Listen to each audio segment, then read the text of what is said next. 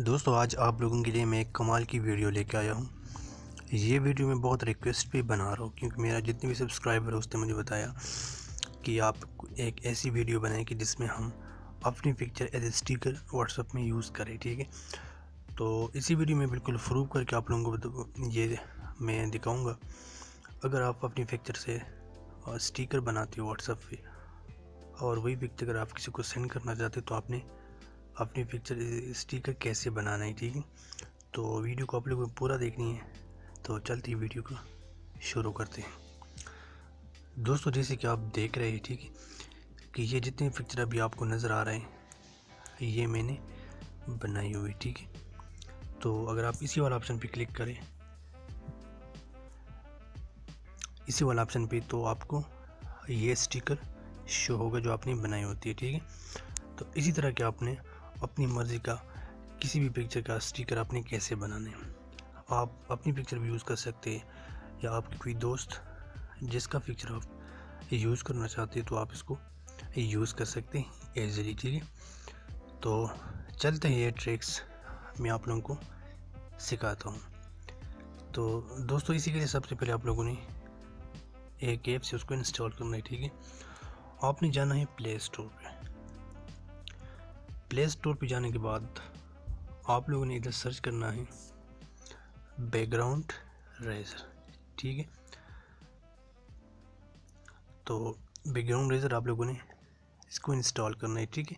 इसको मैं already install कर चुका हूँ तो इसको आप लोगों ने इंस्टॉल करना है। या आप देख सकते हैं कि पचास मिलियन से ज़्यादा लोगों ने इसको इंस्टॉल किया हुआ है, ठीक है? और यूज़ भी कर रहे हैं। तो आप लोगों ने भी इसको इंस्टॉल करना है, ठीक है?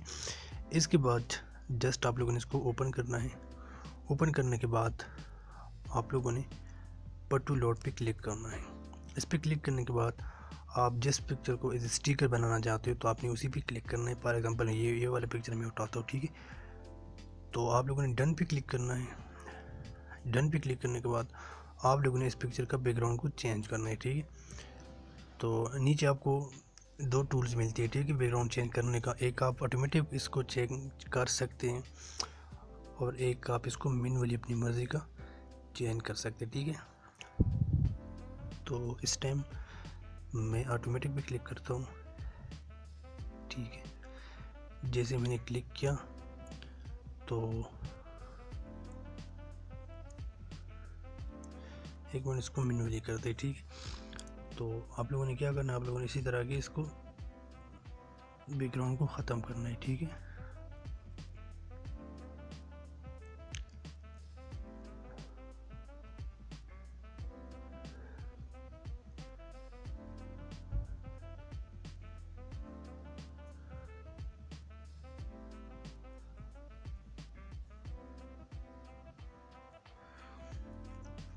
आपने ऐसे प्रॉपर तरीके के साथ इस टाइम जस्ट आप लोगों को तरीका बता तो आप लोग। इसको अपनी मर्ज़ी से आराम के साथ इसको पूरा मज़े के साथ चेंज कर सकते हैं, ठीक है? तो इसी तरह के आप लोगों ने बैकग्राउंड को रिमूव करना है।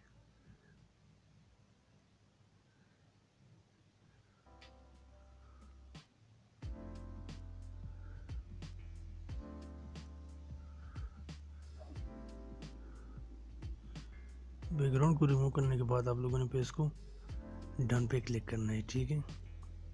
लेकिन डन पे क्लिक करने से पहले आप लोगों ने इसके, जो छोटी छोटी स्पेस रह जाती है, आप लोगों ने इसको भी क्लियर करना है, ठीक है? जिस तरह कि आप देख सकते हैं, मैं पाँच नंबर पे आ गया तो बिल्कुल ये ठीक हो गया। आपने अभी सेव पे क्लिक करना है। तो ये हो गया सेव ठीक है? तो इसी के बाद आप लोगों ने जाना है। प्ले स्टोर पे और इधर आप लोगों ने एक दूसरा ऐप उसको इंस्टॉल करना है, ठीक है?